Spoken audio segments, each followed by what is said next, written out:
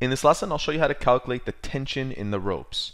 The question reads, hang a 50 kilogram mass with ropes making angles 30 degrees and 45 degrees as shown below. Calculate the tension in the ropes. The first thing that I want to mention is that there are three forces here, and they're all acting on this knot right here. The first force is the force due to gravity, and that is going directly down. We also have a force which is a pulling force called tension going in this direction and one that is going in that direction. Because this mass isn't moving, it's at equilibrium. So the x components of each of these vectors and the y components of each of these vectors need to sum up to zero. Therefore, what I will do is draw this out on an xy plane and show you what to do from there. So here's an xy plane, and we have a force going in this direction. It makes 45 degrees with the top. But if this is 45 degrees, and if we were to draw a parallel line along this axis, that means that this is 45 degrees as well. So I'll write down here 45 degrees. And if I were to draw this vector, where it starts at the center, it makes 30 degrees with this line, therefore this is also 30. That rule is called alternating angles, and we use it for parallel lines. All right, and we also have a vector that is going directly downwards. So we don't know the force, or the magnitude of this force. I'll just call it T1 for now, for tension. And we don't know the magnitude of that force either. I'll call it T2. But we do know the magnitude of this force, and we can find it by using the formula for force, mass times acceleration. The mass is 30 kilograms, and the acceleration is the acceleration due to gravity, and that's a constant at 9.8 meters per second squared. Let's multiply those out so we can actually get the magnitude. We get 294, 294 newtons down. Let's begin by finding the x component of T2. So I'll write down x components. I'm making a chart here. And for T2, to find the x component, which is this part of the vector. Remember, the vector can be broken down into two parts, the x and y component. To get that part, which is what we're interested in, we will have to use trigonometric functions. So we have the adjacent relative to 30 degrees, and we also want to find out the tension in the rope, so we will associate it with the hypotenuse. Adjacent and hypotenuse is cosine. Remember, cosine is adjacent over hypotenuse. So I'll write down cosine at an angle of 30 is equal to the adjacent over the hypotenuse T2. Solving for ADJ, which is the x component, we get T sub 2 times cosine 30, and that's equal to the x component for T sub 2. If I want to find the x component for T sub 1, this one right here, we are interested in this part that I'm highlighting.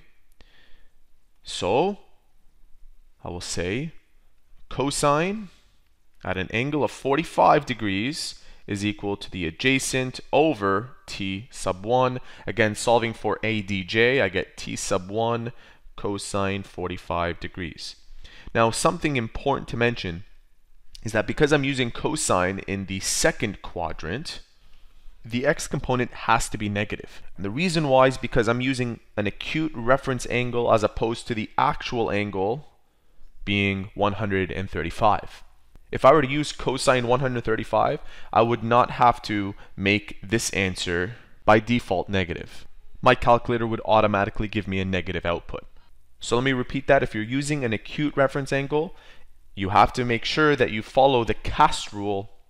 The CAST rule says that all trig functions are positive, only sine is positive, only tangent is positive here, and cosine is positive there. And so because only sine is positive in the second quadrant, the x component for this vector should be negative. All right, now we have to find the x component of this vector that's going directly down. But if you ever have a vector that's going directly down or up, the x component is automatically zero. Okay, so we will be adding this plus this plus 0 for that third force which I'll just call f. Okay, so the x component of f is 0. Now, if you want to find this more technically, you can write down the force being 294 times cosine at 270 degrees, and this should give you 0. Okay, so that's the technical way of finding the x component, but that's the more logical approach. So we'll be adding this plus this plus that. Now we have to find the y components of each of these. We start with the y component of t2. So this time we are looking for that part and using 30 as our reference angle, we have opposite and hypotenuse. Opposite and hypotenuse is sine. Sine at 30 is the opposite over hypotenuse, t sub 2. Solving for opposite, we get t sub 2 times sine 30, and that's equal to the opposite. So when you're dealing with the y components, you're dealing with sine. Next, we'll get the y component for this part. We have sine at an angle of 45 degrees is equal to the opposite, and we're dealing with tension 1 now. So again, T1 sine 45 is equal to the opposite. Eventually, we will be adding this and this together, but we have one more y component to consider, which is the y component of vector f. The y component of this vector is 294, or negative 294, because it's going directly down. Up is positive, down is negative in this case. So I have minus 294, and of course you can figure this out as well systematically if you were to write down 294 sine at an angle of 270, and that would give you negative 294. So we'll be adding these three together, and they should all equal to 0. Let's begin with this column. Let's add t sub 2 cosine 30, and we're adding this, so it becomes minus t1 cosine 45, and that's equal to 0. For this column, we'll have t sub 2 sine 30 plus t sub 1 sine 45 plus negative 294 or negative 294 is equal to 0. Somehow we need to find out what t sub 1 and t sub 2 are and we will be doing this by solving a system of equations much the same way that you would solve a linear system. So the very first step is to bring that over so that I have t sub 2 cosine 30 is equal to positive t sub 1 cosine 45. Notice that it became positive because we moved it over. And then I'll solve for t sub 1, or you can solve for t sub 2 if you like. It's up to you. So solving for t sub 1, I divide both sides of the equation by cosine 45. And this leaves me to t sub 1. I'll take this expression now and throw it in there so that I have a brand new equation that only deals with t sub 2. Alright, so this term and that term are like terms because they are both t sub 2 related. I will take sine 30 plus all of this stuff. So in parentheses, and make sure that your calculator is in degrees.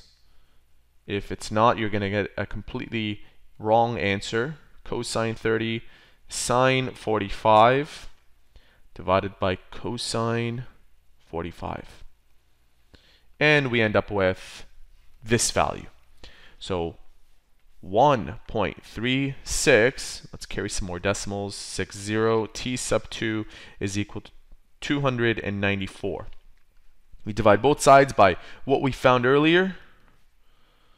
So 294 divided by what I just found, and I get 215 newtons. So that's the tension of this vector. To find the tension of that vector, we're practically done. We take that value and substitute it right here. Okay? So this value that's on our screen times cosine of 30 divided by cosine of 45. And that gives us 263 263 newtons for this vector. And there you have it. That is how to calculate the tension in ropes.